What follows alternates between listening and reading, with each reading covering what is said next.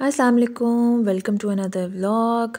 यहाँ पे आपको मेरी आज की सहरी नज़र आ रही है, जिसमें बहुत ही फ्रिली से अंडे थे आज बने, और सालन था, वही दही, पानी, इलायची थी, और उसके बाद मैंने थोड़ी सी वॉक की। वॉक करने से ये फ़ायदा होता है कि एटलीस्ट आप चालीस कदम चल लें तो बड़े कंफर्टेबल हो जाते हैं। बेटा नमाज़ पढ़ा था, और साथ ही मैंने अपनी फिर नमाज़ कंटिन्यू की। I hope you are all doing very good और रमज़ान को पूरी तरह इंजॉय कर रहे होंगे। आज मुझे कुछ सब्ज़ी चाहिए थी तो मैंने रमज़ान बाज़ार का या संडे मार्केट का चक्कर लगाया, जहाँ पे बहुत ही फ़्रेश तरबूज आया हुआ था। और बाकी सारा फ्रूट एप्पल्स थे, खरबूजा था, केला ऑल दो सब कुछ बहुत महँगा था, बहुत एक्सपेंसिव लेकिन बहुत अच्छा फ़्रेश मिल जाता है। इसी तरह ये सब्ज़ी सारी बहुत ही फ़्रेश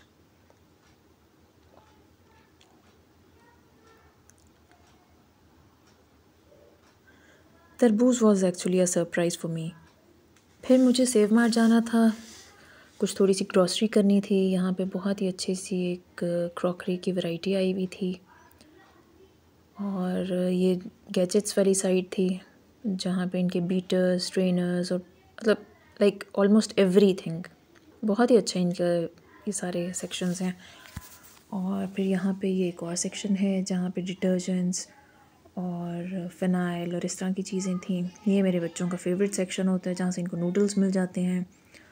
और उसके बाद फिर मुझे चाहिए थी केचप और मायो चाहिए थी, जिसके लिए मैंने मिचल्स की फिर केचप ढूंढी।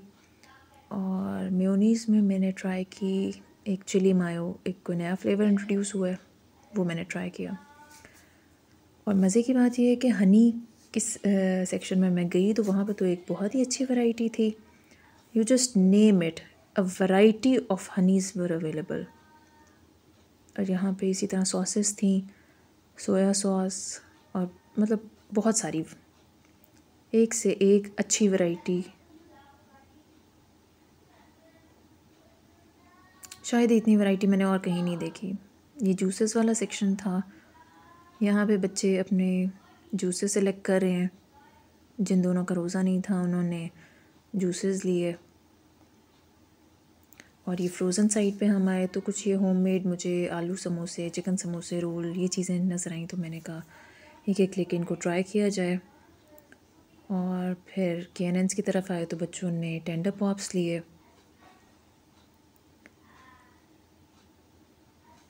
और मज़े की सबसे ज़्यादा बात थी कि केचप जो ली तो उसके साथ एक बिरयानी मसाला मुफ़्त। था बच्चों को मैं बाबर की तरफ़ लेके गई।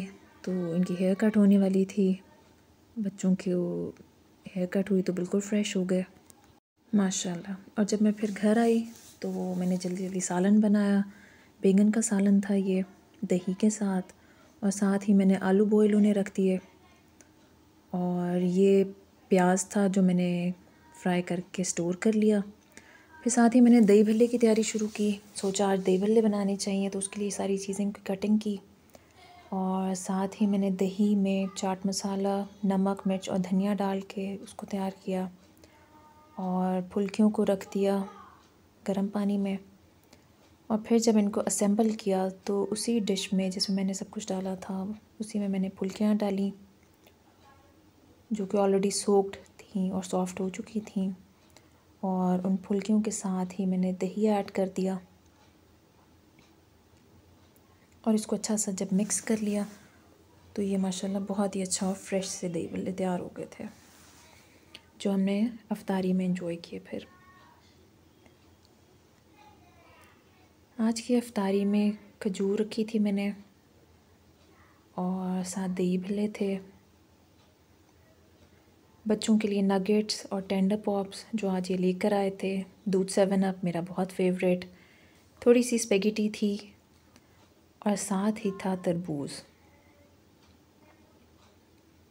तो ये मेरी आज की अफ्तारी थी। बच्चों ने बहुत इन्जॉय की। तब तक मैं काफ़ी एग्जॉस्ट हो चुकी थी। एक अच्छा सा चाय का कप पिया बना के और उसके बाद फिर रेस्ट किया। बच्चों के साथ थोड़ा सा टाइम लगाया और फिर बच्चे सो गए। Hope you like that okay अल्लाह हाफिज़